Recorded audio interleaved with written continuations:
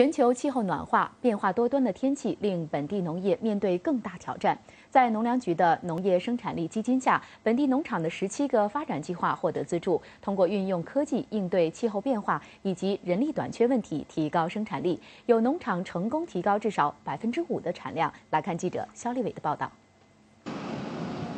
烈日当空，绿油油的菜心和空心菜在阴凉的农地茁壮生长。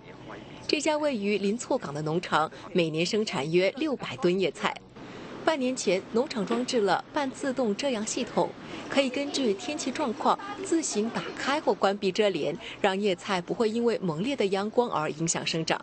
在温室里面的气温在热可以达到四十度，可是装了这套系统之后，我们会把它的温度从四十度降到三十二度左右。劳工方面，我们也是可以节省，每一天是用浇一次水，无形中就是产力、生产力也是提高了，工作流程又可以容易容易安排。安装一个遮阳系统需要大约十万元。农场在农粮局的农业生产力基金下获得部分资助，目前安装五个遮阳系统，产量提高了百分之五。农粮局表示，去年本地种植的叶菜占市场总供应量的百分之十二。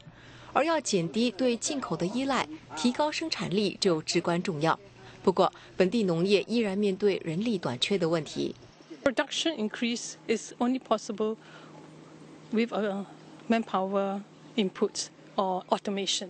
This is where we are trying to introduce technology, or we bring them, in fact, overseas to see what are the other available technology technologies where they can use automation to maximize their processes.